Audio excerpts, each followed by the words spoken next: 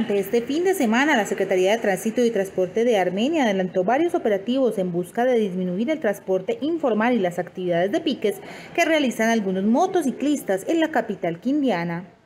Bueno, hemos estado trabajando permanentemente operativos conjuntos con la Policía Nacional, con el Ejército, con la Secretaría de Gobierno, atacando principalmente la problemática de la informalidad y de los piques en motocicleta en la ciudad. Durante el fin de semana inmovilizamos 10 motocicletas más, se impusieron más de 20 órdenes de comparendo y seguimos en ese trabajo articulado para poder mitigar el riesgo que esto genera en la ciudad de Armenia. De igual manera, durante estas actividades de control se lograron identificar problemas como la falta de SOAT y la revisión técnico-mecánica en la conducción de vehículos, especialmente motos. Sí, claro, en estas actividades eh, que estamos haciendo permanentemente de control, allí estamos atacando todas estas infracciones, no solo el SOA, también la revisión técnico-mecánica, personas que conducen estos vehículos sin tener las licencias de conducción, o sea que no son idóneos para ir al volante en una motocicleta. Todas estas infracciones son las que controlamos a través de estos operativos. Estos operativos se seguirán realizando de manera permanente en la ciudad de Armenia, según se indicó desde la Secretaría de Tránsito y Transporte en procura de tener un mayor control en la movilidad y disminuir el transporte informal.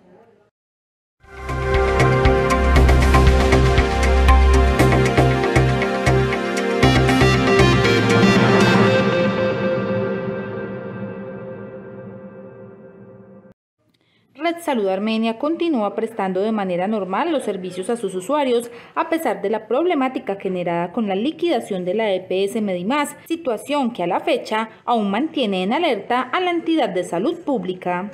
Pero ya estamos llegando a un punto a un punto muy complejo donde si no nos pagan lo que nos den efectivamente los servicios que hemos prestado ya en este momento pues vamos a tener que compilar servicios, reducir personal, eso es una situación eh, que, el alcalde conoce, me ha ayudado inmensamente el alcalde también dentro de su alcance, dentro de sus competencias. Y aquí ya el llamado es a, los organismos de control, a la nueva supersalud, al nuevo gobierno nacional, a que, a que, a que hagan que, que los que nos deben recursos nos los paguen. No estamos pidiendo nada regalado. En cuanto a la reforma de salud anunciada por el gobierno nacional, el gerente de la IPS Red Salud Armenia indicó que el Quindío podría ser piloto para la implementación de la modificación a la red de salud pública.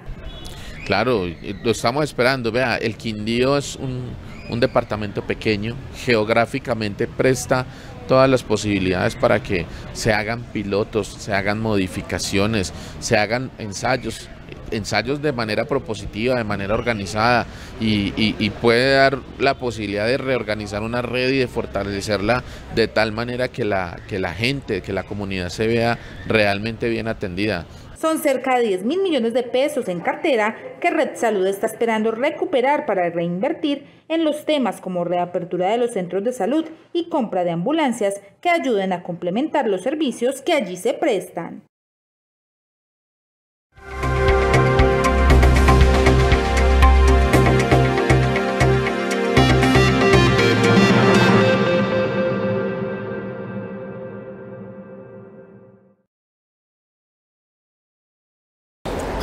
Mariana, venga. Señor. Mariana, ya sabe qué hora es. Vamos a trabajar, mi amor. Ya la hora que es. Vea, espero que nos vaya mejor que ayer. Recuerde que su mamá está enferma, necesita los medicamentos, o yo. Aquí la espero, pues, juiciosita. Gracias, don Rodrigo. Bueno, pues.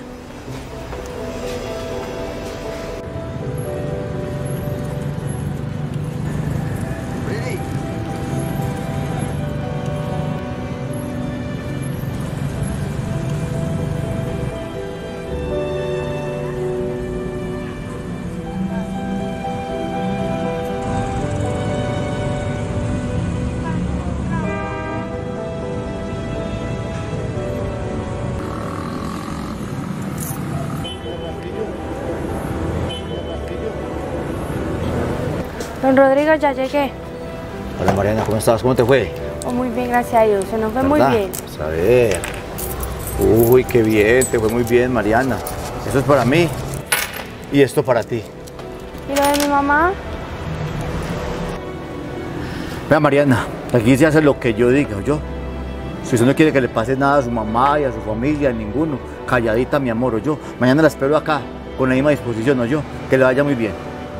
Esta es una campaña por la lucha en contra de la trata de personas de la Secretaría de Gobierno y Convivencia de la Alcaldía de Armenia, que es para todos.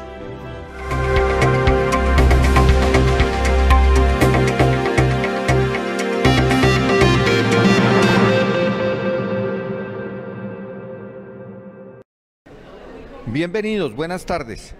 Estamos en el centro de convenciones de la ciudad de Armenia en el lanzamiento de la segunda versión Sabe a Quindío, una iniciativa de la Cámara de Comercio que ha impulsado sobre todo la actividad gastronómica de nuestro departamento. Nos acompaña el doctor Rodrigo Estarrabéis, presidente ejecutivo de la Cámara de Comercio, y lo veo contento, satisfecho, porque está dando resultado la reactivación del sector gastronómico del departamento. Sí, no, muy contento del lanzamiento que se hizo, además cerca de 230 empresarios del sector de gastronomía vinculados a Sabia Quindío. Sabia Quindío es algo muy sencillo, es algo que nos gusta a todos además, dos por uno, pago uno y consumo dos. Tenemos esos 200 restaurantes, 230 vinculados de todo el departamento del Quindío, con platos de todo tipo, José Luis, platos eh, de comida típica, comida fusión, comida de autor, postres, hamburguesa, etcétera. Y en la página de la Cámara de, de Comercio o sabequindío.com, ahí pueden entrar y ven los platos, ven los restaurantes y cuál plato es de dos por uno y esperamos que tengan un buen resultado. El año pasado fue muy exitoso, fue importante cerca del 80% de los entrevistados dijeron incrementamos nuestras ventas, mejoramos nuestras redes sociales, conseguimos nuevos clientes y esperamos que eso sea un gana-gana para todos. Precisamente viendo la presentación, un restaurante del municipio de Calarcá decía que pasó de 300 a 800 comensales, que eso no los habían tenido como experiencia. Sí, él manifestó que en Sala Quindío tuvo incrementos de ventas bastante grandes y vendía hasta 600 platos de, una cazuela que hace muy rica. Pero lo más importante, más que en esos días, que es, que es el tema, lo que le quedó lo que le quedó. Pasó de vender, dijo, 50 platos ya diarios en días normales a 180 y 200 platos. Eso es un tema bien interesante. En esos días es el, aporte que hace el empresario. Dos por uno le cuesta plata, lógicamente, a él y hace ese esfuerzo.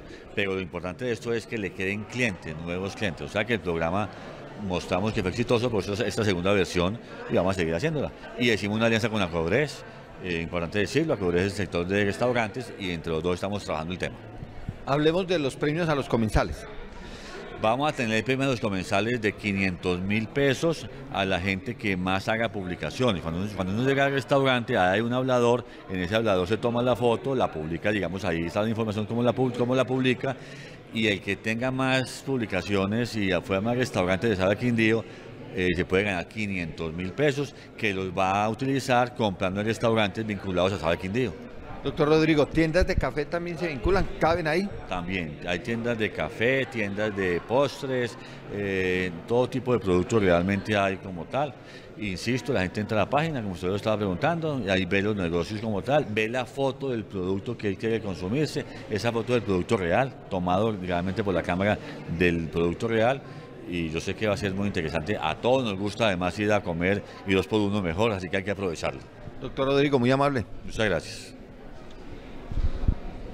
Quindío es uno de los epicentros eh, turísticos más importantes del territorio colombiano y tenía que ser complementado por la oferta gastronómica que se está ofreciendo en Sabe a Quindío. Vamos a volar, con vida a volar. Compra ya tus tiquetes, super bajo costo vas a encontrar. Vamos a volar, con Viva a volar. Mucho gusto, somos Viva y juntos vámonos a volar. Vigilado Supertransporte.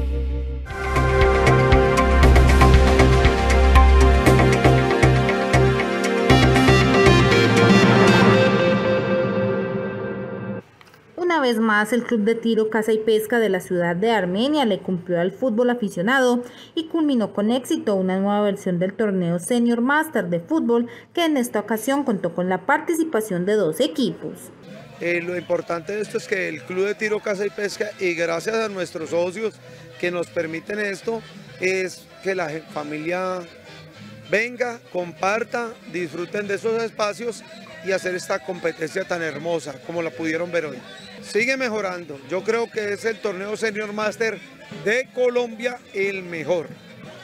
La gran final fue disputada por los oncenos de Arboleda y Nacho Computadores y solo se logró definir con cobros desde los 12 pasos luego del empate a dos goles en el tiempo reglamentario. Sí, un partido, una final muy pareja para dos equipos que no éramos los favoritos durante todo el torneo, pero llegamos a la final y por eso eh, se trató y se vio que fue un partido muy parejo de tú a tú.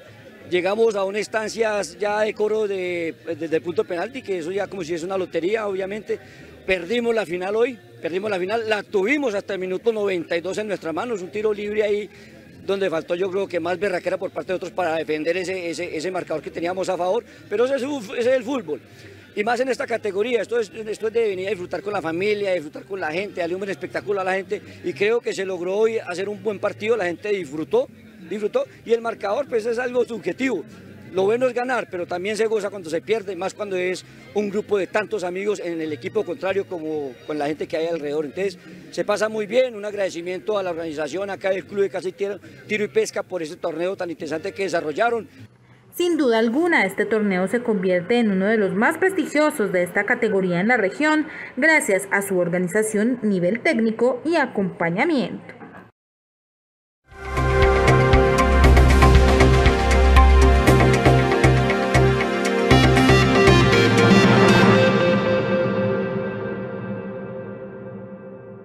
Con preparación y mucho entrenamiento, los deportistas en la modalidad de lucha olímpica tendrán una competencia el sábado. El entrenador nos cuenta más acerca de esta. Este, esta competencia es selectiva para el Campeonato Nacional que se va a llevar a cabo en Ibagué, Tolima y para el Campeonato Suramericano en la, categoría infantil. Estamos enfocados en el trabajo hacia juegos departamentales eh, hemos tenido inconvenientes por eh, la falta de diccionario apropiado, pero eh, con los muchachos que tenemos, con eso nos vamos a defender y, vamos a, representar al municipio en las justas. Este grupo de luchadores es nuevo, ya que cuenta con ocho meses de haberse conformado, pero que tiene unos deportistas con ganas de sacar adelante este deporte, logrando así ganar en un torneo amistoso realizado en Jumbo. Fue un amistoso prejuegos donde en los municipios mostramos todos los que teníamos, con miras a juegos departamentales y pues vimos la calidad de rivales que tenemos en, todo el departamento y en la categoría de 39 kilogramos eh, vimos que tenemos una niña muy fuerte, se llama Ana Milena Valderrama, 13 añitos y espero que con ella eh, logremos eh, la medalla de oro en juegos departamentales, que vaya al nacional y ojalá clasifique para el suramericano. La verdad mi preparación fue algo muy constante aquí en el colchón con mis compañeros, pues la verdad siento que me preparé muy bien y pues la verdad siento que el triunfo que tuve allá fue muy merecido ya que yo entrené demasiado duro, igual que las otras, no, no digo que ellas tampoco entrenaron muy bien, pero yo me preparé más que ellas y pude ganar. Mentalizarme mucho de que yo iba a ganar, mentalizarme en en que si ellas tienen miedo, pues yo también lo voy a tener obviamente, pero yo voy a ganar, a ganar y esa fue como una de mi preparación, mm, no más física, sino como mental, como para mí. Se espera que tengan un buen rendimiento en esta disciplina y logren clasificar a los Juegos Departamentales en representación al municipio de Tuluá.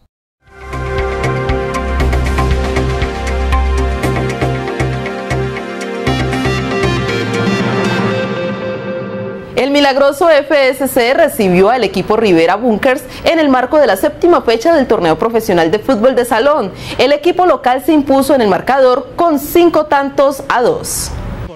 En la séptima fecha del torneo profesional de fútbol de salón, el milagroso FSC se enfrentó contra Rivera Bunkers del departamento del Huila. El encargado de abrir el marcador para el equipo local fue John Jairo Benté. Allí, las emociones del compromiso aumentaron, pues el equipo de Rivera Bunkers aprovechó los errores del milagroso para lograr el empate.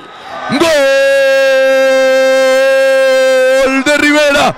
El señor John Ankel Para el segundo tiempo llegaron nuevamente los goles del milagroso FSC. Nuevamente, John Jairo Benté brilló para marcar su segundo tanto. Otra de las figuras del partido fue Duan Ramírez, quien logró anotar en dos oportunidades, y Gustavo García tuvo una anotación. Si va al arco, apunta, dispara, lo toca para Neneco. Él es el señor Ramírez. El compromiso de esta séptima fecha que se disputó en el Coliseo Luis Ignacio Álvarez Ospina culminó 5 a 2, llevándose los dos puntos el equipo local. Ahora, el milagroso FSC se prepara para enfrentar en calidad de visitante a Esmeraldas Muso FSC, quienes son los líderes del grupo C con 12 puntos. Vamos a volar, con Viva a volar. Compra ya tus tiquetes, super bajo costo vas a encontrar. Vamos a volar, con Viva a volar. Mucho gusto somos Viva y juntos vámonos a volar. Vigilado Supertransporte. Bueno, bueno, bueno. Ya sé que tienes una idea de lo que somos. Y es que se empieza por un sueño. En 1999 nació el nuestro, el primer parque temático agropecuario del mundo. Una filosofía como hilo conductor de un territorio en las montañas del eje cafetero, arropado por los saberes ancestrales de la cultura quimbaya. Somos un lugar de resignificación de saberes, desde lo manual, lo práctico, lo artesanal, lo artístico, lo comercial, lo natural, pero sobre todo desde lo elemental, la tierra. Somos la idea eterna de que sin campo no hay ni habrá nunca una ciudad.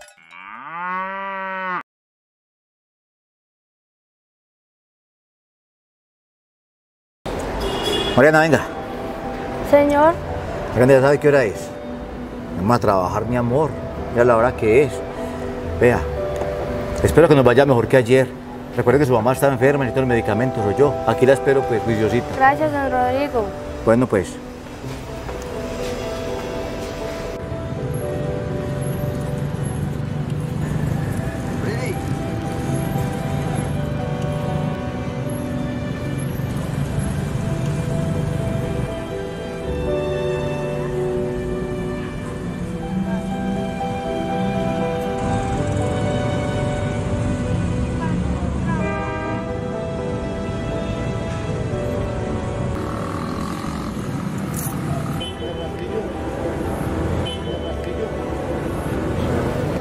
Rodrigo, ya llegué. Hola, Mariana, ¿cómo estás? ¿Cómo te fue? Oh, muy bien, gracias a Dios. Se nos fue muy bien. Pues, a ver. Uy, qué bien, te fue muy bien, Mariana. Esto es para mí y esto para ti. ¿Y lo de mi mamá? Vea, Mariana, aquí se hace lo que yo diga, yo. Si usted no quiere que le pase nada a su mamá y a su familia, a ninguno, calladita, mi amor, o yo. Mañana la espero acá, con la misma disposición, o yo. Que le vaya muy bien. Esta es una campaña por la lucha en contra de la trata de personas de la Secretaría de Gobierno y Convivencia de la Alcaldía de Armenia, que es para todos.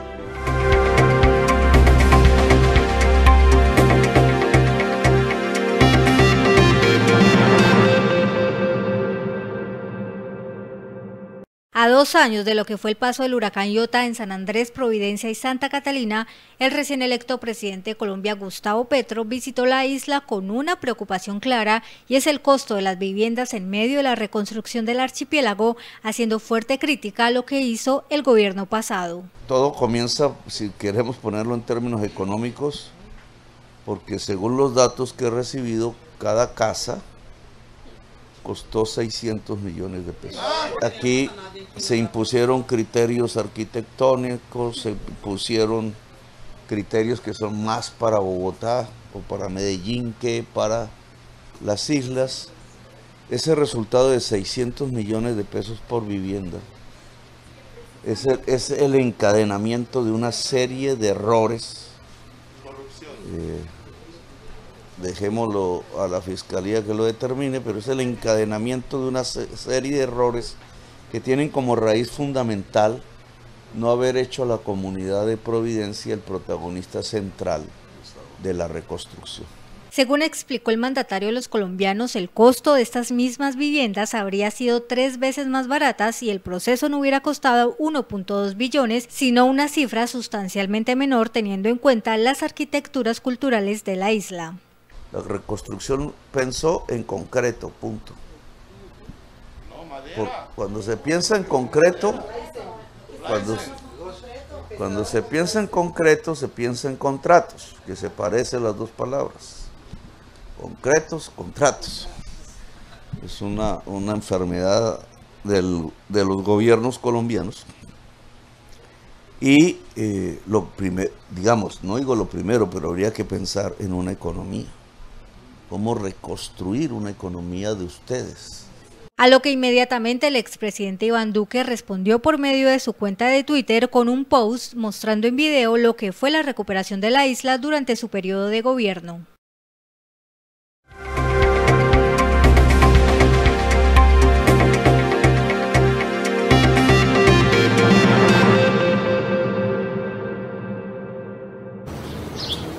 La ley de víctimas, restitución de tierras y decretos leyes étnicos se está rajando en Colombia. Si a esa nota no nos sirve. Y se rajan, según el último informe entregado por la Contraloría General de la República, la Procuraduría General de la Nación, la Defensoría del Pueblo y otras entidades. gente que teníamos nuestra generación de ingresos y lamentablemente quedamos de, en- de un momento a otro quedamos con las manos limpias. A la fecha, los 146 billones de pesos destinados para atender a las más de 9 millones de víctimas del conflicto armado en el país son insuficientes. La Contraloría General de la República estimó que se requerirán recursos por más de 301 billones de pesos para cumplirle a todas las víctimas a 2031. Víctimas que han sido afectadas por la demora del Estado, ya que este solo ha indemnizado el 12% de las 9.000 víctimas en toda Colombia. Entre 2018 y 2022 se ha indemnizado colectivamente al 9% de los sujetos de reparación afrocolombianos y al 12% de los sujetos de reparación indígenas por un valor de 19 mil millones de pesos. Además, el organismo de control fiscal hizo un fuerte llamado al gobierno nacional, ya que las víctimas del desplazamiento forzado no tienen garantizado el derecho para acceder a una vivienda digna. Entre 2012 y 2021 se asignaron 109.464 para vivienda urbana y 35.265 para vivienda rural, de los cuales se presenta un rezago de viviendas por entregar del 13% en el área urbana y del 61% en el área rural. Frente a la generación de ingresos a las víctimas del conflicto armado, la Contraloría General ve necesario la implementación de una ley de empleabilidad, ya que hay más de 4 millones de personas en situación de pobreza. Desde Bogotá informó Edgar Ramírez.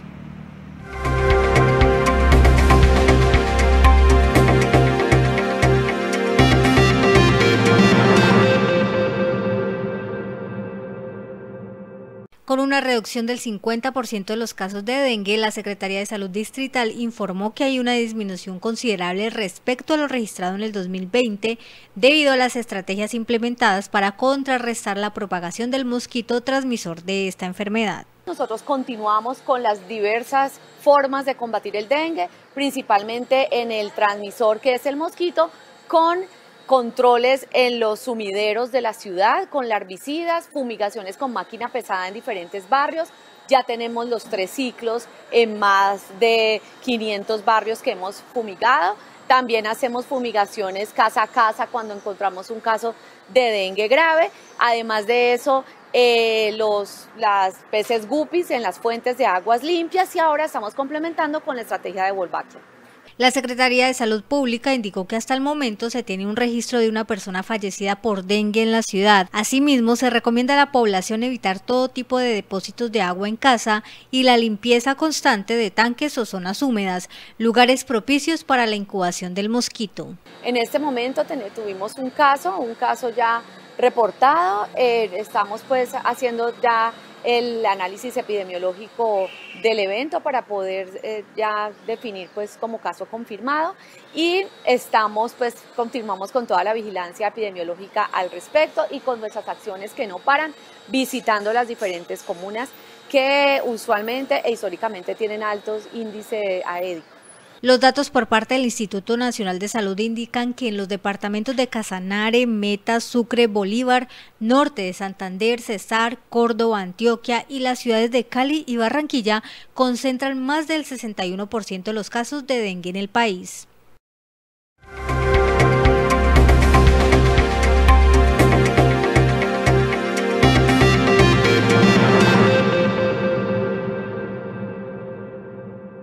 Este sábado 27 de agosto en el Hospital Rubén Cruz Vélez se realizará la tercera jornada del año con la campaña Soy Generación Más Sonriente, encaminada al flúor tópico para así prevenir las caries, ya que es un mineral producido naturalmente, haciendo de esto los dientes más fuertes y resistentes. Los usuarios de las EPS que pueden asistir a esta actividad son Ensanar, Asmed Salud, Nueva EPS y Compensar. Todos se pueden acercar a los puestos de salud a los cuales ya informamos y en la sede central en el horario de 7 de la mañana a 12 del día. La comunidad se puede acercar a los puestos de salud de La Marina, El Victoria, San Antonio, Portales del Río, Nuevo Farfán, La Independencia, San Pedro Claver y por supuesto su hospital Rubén Cruz Vélez. La importancia eh, es para que los padres y cuidadores tengan en cuenta eh, que deben llevar sus niños a la consulta odontológica para las actividades de promoción y mantenimiento de la salud oral dos veces en el año.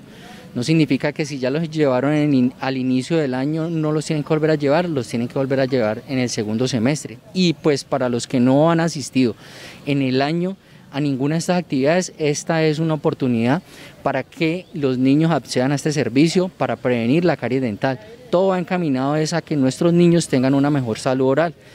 Este día, ¿qué actividades se le van a realizar específicamente?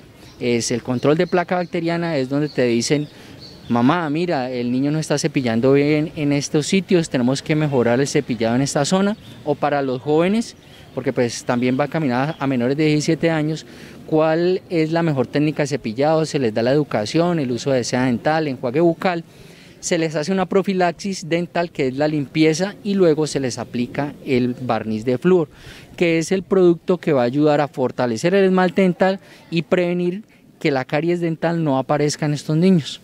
Esta invitación se realiza con el fin de que la comunidad se haga partícipe de estas jornadas de salubridad que son encaminadas para la niñez tulueña. Recuerda que desde el primer año hasta los 17 pueden asistir a la campaña Soy Generación Más Consciente este sábado 27 de agosto.